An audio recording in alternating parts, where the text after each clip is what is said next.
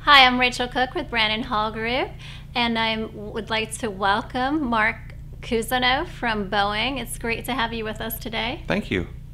And how are you doing? Tell us a little bit about yourself and your role at Boeing. Yeah, so um, I'm the director of learning strategy, design, and technology for the Boeing Company, which means that my team uh, is the stewards of the learning strategy. Mm-hmm. Uh, and I, I, use steward because we don't own it. If a lot of times we talk about ownership means we make all the decisions. Stewardship means we're going to work with all of our partners across the business to make sure that it's the right learning strategy for the company where we're at right now.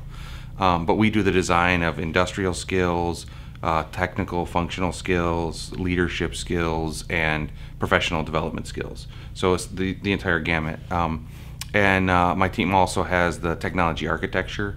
So our learning management system, content management systems, uh, performance support systems, social collaborative platforms, things like mm-hmm. that, and also knowledge management is uh, part of the uh, the organization. So that's what uh, that's what uh, my organization does, and it's great to be here at Brandon Hall. We've got two teams uh, winning uh, a silver and a gold award. Congratulations! Thank you. And so brought, brought the team, some of the members of the team out here to celebrate, and uh, and then obviously learn from uh, a lot of the leaders in the industry on what's going on out there. It was interesting to hear you yesterday in our keynotes, our general session, and you were sharing a lot about strategy and the future of the workforce. Can you expand about a little bit of some of the takeaways from that conversation? Yeah, so for us, we're looking at, uh, we're kind of changing how we're going to look at learning design. Uh, traditionally, we've had instructional systems designers, learning um, solution integrators. Um, we do the ADDIE model and waterfall and 70 20 10.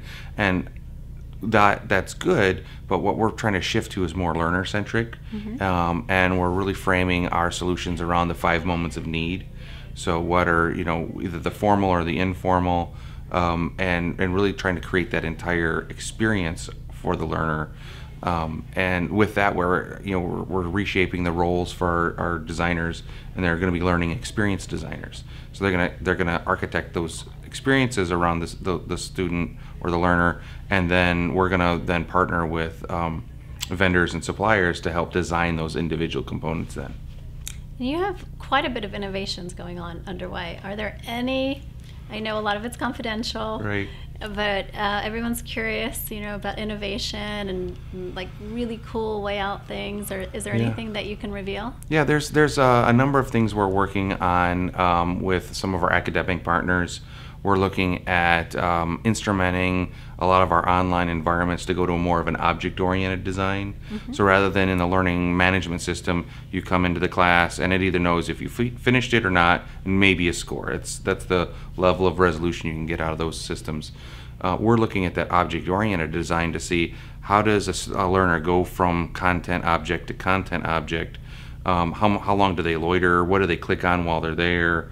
Um, how do they interact with that? Do they come back to it after they've progressed somewhere else? Mm-hmm. And that can be an indicator for us as either it's a complex topic, and so um, is there cognitive overload, or the, the presentation wasn't in a way that is easily understandable by the audience. And we can look at these trajectories of students, and you get thousands of students through, you can start to see patterns surface, and you can see what you know students that get in the 90, 95 99% mm-hmm. range look like compared to maybe a student that's in the 70 60% range marginally successful or not successful and and trying to start to build some adaptive engines that will look at if they start to show up in this pattern mm-hmm. can we push them over to interact with the content in this way and help make sure they're successful especially in a lot of these content areas where it, they all build on each other right you go from um, like in an engineering area if you go f- from you know one topic the next topic is you know prerequisite is you want to have a good understanding of that previous content. So um, we're looking at those kinds of engines, and that's a heavy leveraging of artificial intelligence, and we're leveraging a lot of learning science and you know, itemized response theory, cognitive load. Uh, we're working with uh, experts in visualization so we can see these these new patterns and, and help us distinguish these patterns. So um, a lot of exciting stuff we're doing in, in that space.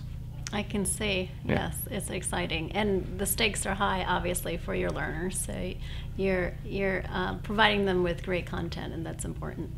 Yeah, yeah. It's uh, it's not just about the content, but it's about like I circle back to that five moments of need, right? So a lot of times we give them those classes, and that's on those first two moments of need. If it's something new, or they're learning something more about a particular content area, where we typically don't do a very good job in is okay, they go back on the job and they go to apply it. How do they, you know, they, and they don't remember what's that nudge that they can get.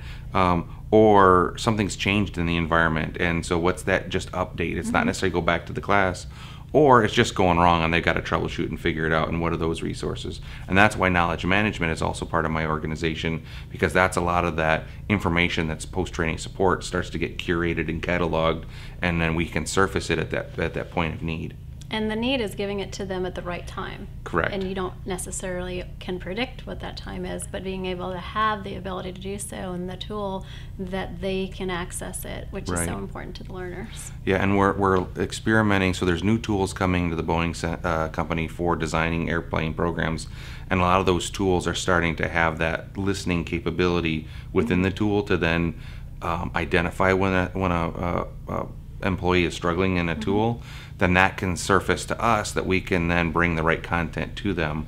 Um, or looking at other tools and techniques that we can use, either leveraging clients that overlay on top of the user mm-hmm. experience the, when they're working, or just through their environment natively, we can somehow surface those patterns and bring that to them without them even knowing they're learning. Fascinating. And so, on another point, uh, talking about learning, and we have an event here that we hope that we're offering an enriched learning experience. How has it been for you? It's been good. I like the uh, the opportunity, the different formats. Um, I know a lot of uh, uh, conferences. You come in and you sit down and you listen essentially to a lecture after mm-hmm. lecture after lecture, and you get six or eight of those in a day, and you're brain mm-hmm. dead. Um, here you get the the lightning, the tech talks, and they're nice and quick and concise, and you get a, a bunch of them rapid succession. Then you get a little bit of time to kind of soak time to think about and process mm-hmm. what you heard. Then you hear some experts. Then you have a panel, and so it's it's a lot of different uh, avenues to bring that content forward, uh, and it helps not just to get that that lecture after lecture brain you know numbingness that can happen at, at some of the bigger conferences. We're trying to practice what we preach. yeah, that's good.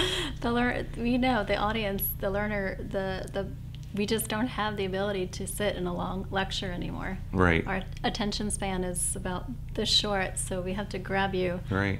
I'm surprised I'm paying attention this long. All right. Well, that's a good cue. We, yeah. we, we only have a few more things to cover. Sure.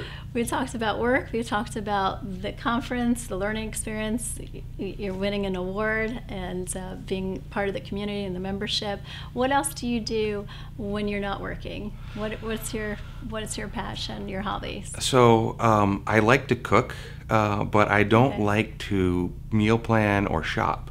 So I have really fallen in love with those. Uh, those services where they, they send you the meals. Uh, you Meal know, Fresh. Or? Yeah, like yeah, Hello Fresh or Plated or Blue uh-huh. Apron. You know those, and we've tried them all. Have but you? I like it, yeah, because they, they, it shows up. You've got all the ingredients, but you still have to prepare it and chop it, and you still got to put a little love in it. Mm-hmm. But uh, it's way easier than you know right. meal plan. Because if I had a meal plan, I'd have about the six same meals every week. So that's what happens in our house, and we've been contemplating about trying some of them. And uh, do you, is there one more than another that you like? Uh, they've all got their pros and cons. I know um, there's even some that are specializing, like if you're now in a paleo diet or mm-hmm. um, you've got certain, uh, you know, ve- vegan, vegetarian.